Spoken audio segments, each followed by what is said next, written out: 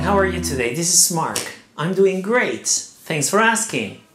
The girl who was singing is my cousin. The girl to whom you spoke told me she was from India. Those are the stairs that will take you to the first floor. The reason why he called you is because he missed you. My apartment, which cost me a lot, will be sold soon. In this lesson, we're going to take a look at relative clauses. So stay tuned.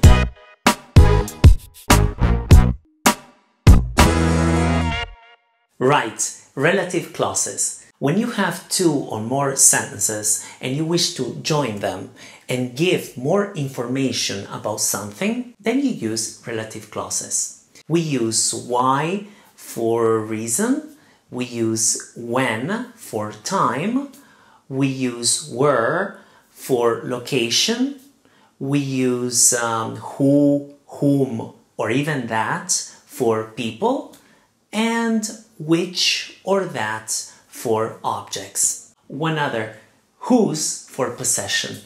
So there can be defining and non-defining relative clauses. Defining relative clauses tells us which subject we're talking about.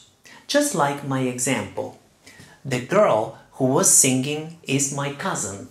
So, for example, we can give or we can ask ourselves a question. So, who was singing? The girl. So, the girl was singing. And who is she? My cousin. So, who tells us who the subject is, right? In a formal context, we can put the preposition before the relative clauses. For example, the girl to whom you spoke told me she was from India. But we can even say in informal English, the girl who you spoke to told me she was from India. Or even, the girl that you spoke to told me she was from India. But even the girl you spoke to was from India.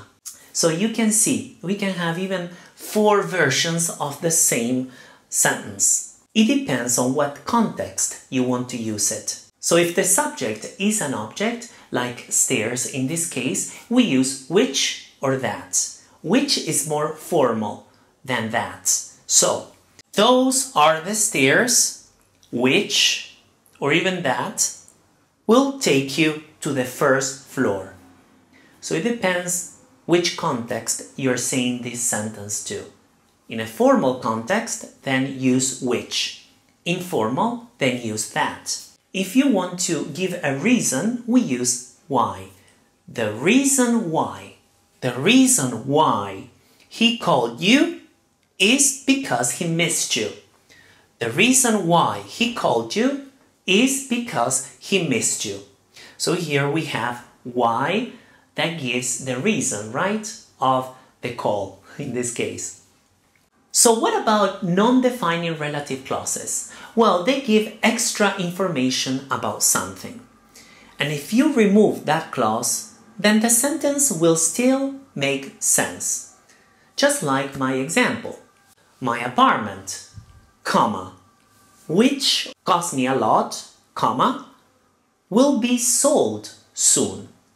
Now let's take out the clause. My apartment will be sold soon. Still makes sense, right? Yes, the commas are extremely important here. So remember, my apartment, comma, relative clause, which cost me a lot, comma, will be sold soon. Let's take a look at other examples. The house, comma, whose family lives in, comma, is very shabby. So let's take out whose family lives in. The house is very shabby. It still makes sense, right? Yes. Another example.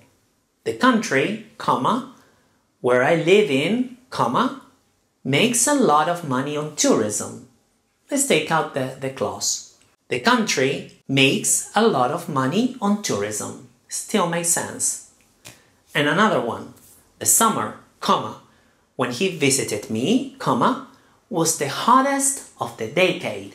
So, if we take out the clause, the summer was the hottest of the decade. Still makes sense. Well, I have something for you. I have an example here that you need to fill in below this video. Rome is the city and then space, we need a relative clause here. The Colosseum can be visited. I want you to answer under my video and tell me if it's non-defining or defining relative clause. So, I hope you enjoyed the lesson. If you have any comments, any requests, you can comment or you can type it under this video. If you haven't subscribed to my channel, please do so. If you wish to share the lesson, please do so. Thank you very much for watching and see you next week with a new lesson. Take care. Bye bye.